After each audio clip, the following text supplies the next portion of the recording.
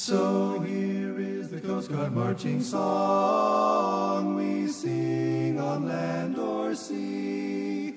Through surf and storm and howling gale high shall our purpose be. Okay, we're recording, and uh, my name is William Thiesen. I'm the Atlantic Area Historian for the U.S. Coast Guard, and uh, we're here at the Bering Sea Patrol Alaska Veterans uh, Reunion in Kansas City. Today's date is August 26th. Uh, we're here at about 11 a.m. We've got four members of the uh, crew of the uh, Coast Guard uh, icebreaking cutter Storis, and we're here to talk today about the historic Northwest Passage. Ask the four members of the crew that are here today to introduce themselves individually, and then after that, we're just going to have a chronological description of the events that took place on the uh, Northwest Passage um, in just kind of a uh, discussion format. So I'll ask them one at a time to introduce themselves down the row here, and then we'll begin uh, talking about the uh, the Northwest Passage. So, Dick, you want to start out?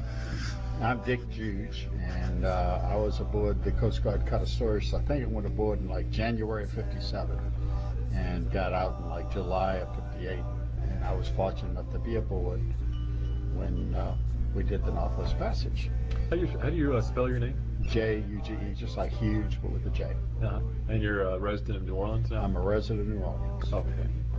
Chuck, you want to introduce yourself? Yeah, my name is Charles F. Schmitzer III, S-C-H-M-I-T-Z-E-R. I went aboard the Storis, I believe, early spring of 1957. Stayed until uh, after the cruise in December. Transferred to Air Detachment, Kodiak, Alaska. Remaining my tour in Alaska. And you're resident of Pittsburgh now? Uh, Butler, Pennsylvania. Okay. So 35 miles north of Pittsburgh. Okay. Great. All right. Clair? I'm Clair Upton. I uh, went aboard the Storis in May of 57. Got off the Storis in March of 58. Uh, I'm currently residing in Bountiful, Utah. Okay. Good. All right. And uh, Cornelius? Uh, my name is uh, Cornelius Farley, and uh, I joined the Storis uh, in January 1957. I served aboard the vessel until February 59. And my job on the ship was uh, I, was a lieutenant at the time, and I was the engineering officer aboard the vessel. I also had relieved the former engineer, who was uh, Lieutenant Commander Douglas Clifton, was the man I relieved. Okay. And uh, you presently reside where? Oh, I presently reside. I currently reside in the San Francisco Bay Area, specifically San Rafael, California. Okay. Great. Would somebody like to start out with where the, uh, the uh, voyage began, or Uh, the voyage actually began began out of Juneau. Uh, this was going to be a special trip, and I know myself, I happened to be on the Sweetbrier prior to going on the Storis, and I swapped with one of the other quartermasters when I went on. Of course, we left Juneau, came down the Intercoastal Waterway to Seattle, and that took us about three days trip to make that trip to Seattle, where we was going to meet up with the uh, Bramble and Spar, who were coming from the East Coast to go with us around the North American continent. what was the date that you started out from uh, Juneau, went down to Seattle, and started out? I don't have the date with me. It was probably sometime in the latter part of June, about June 25th, 24th, somewhere along in there. Because we left Seattle, I think it was July 1st. I have that information at home, which I'll present to you later. Sure. I'll send you a copy of it. Okay. All right. Any uh, events or activities that come to mind when you took that particular, just from Juneau down to Seattle? Um, were you all on board at that point? I was Yes. aboard. I think we were all. Oh, yes. We're all on board. I don't remember. So all Yeah. four were aboard at that I point? do believe so, yes. Okay. But I don't, I don't remember, you know, being a quartermaster. I was on the bridge, you know, and got to see a lot of the things that were going, talking with the officers and everything. And I don't recall of anything particularly happening, you know, on the way to Seattle.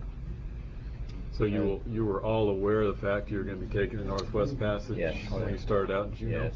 And you were all excited by the prospect? Yeah. Okay. Of course, we got to Seattle, and I think we stayed there what, two, three days. We had to load up and the supplies and stuff. We had supplies, I know, to get. Clair, we weren't attached to Kodiak before this group? No, no, we didn't I go went to board- Cat- I went aboard it in Juneau, but, but I know we ended up in Kodiak. Yeah, we- but at the time we were, when we left Juneau, uh, we became detached from Juneau, Okay. and when we returned off the trip, we went to Kodiak. Our new station. Right. What they did, they moved the uh, Coast Guard cutter Sweetbrier, a 180 footer, from Ketchikan, Mm-hmm. moved that it up to Juneau. Okay. And so that was enabled, you know, some of the crew members from the Sweetbrier to transfer to the Storis. And some of the Storis that didn't want to make the trip could go to the Sweetbrier and stay right in Juneau. I see. Okay. I know they had a list of about oh, 15, 20 people that wanted to swap, Mm-hmm. and they wanted uh, rate for rate Mm-hmm. going across. These people did not want to do the Northwest Passage. Yeah. Is that right? The guy that I replaced, when I went on board, I was only a second class quartermaster, and the guy that I replaced was a first class quartermaster. Uh-huh. But he was doing master at arms duties down on the mess deck, and the navigator or the ops chief or officer, you know, he wanted to have a quartermaster on the bridge, Mm-hmm. so he was willing to make the swap. And he also stayed in Juneau.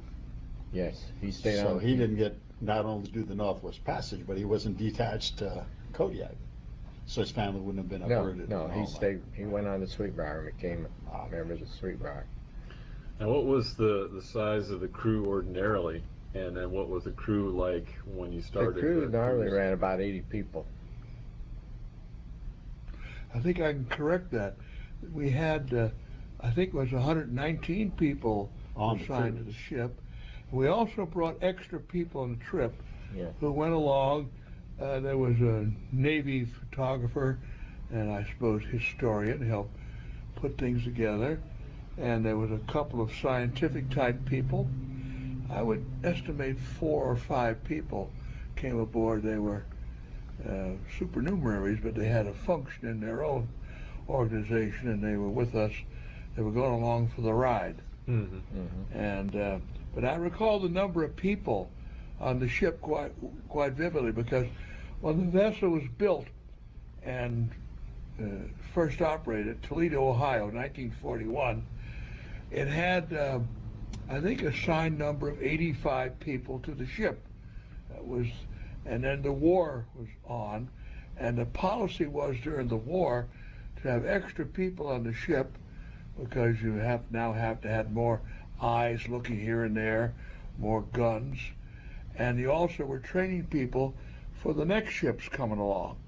So the policy was to have extra people on all the ships, and they wound up with around 120 people, I understanding.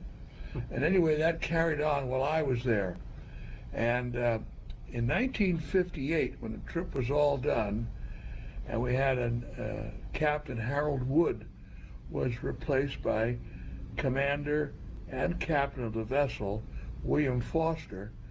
I got along a little smoother with Foster than Wood, you know, just those things. Mm-hmm. And I was in the captain's quarters one day. We were having an academic discussion. And I said, You have too many people on the ship. They're bumping into each other, particularly the deck department. The poor little kids are, they, they, they, you know, there's only so much paint you can chip and paint, and hmm. this and that. There's too many of them. And when they sleep in their glory hole, the, the bunkhouse every night, smells like a men's gymnasium after a while. They open all the ventilations and it clears out very good. But that's, uh, that's what it is. So he said, what do you propose to do about it? Neil. Neil being a nice name for Cornelius, see? Right. uh, familiar name. Well, I says, uh, uh, reduce the ship down. Oh, is that so? He said, a little irritated. So a couple of days later, I brought up to him a little list I had of how I proposed to reduce each and every department. The deck department, something like eight, ten guys maybe. and uh, one less cook, one less yeoman.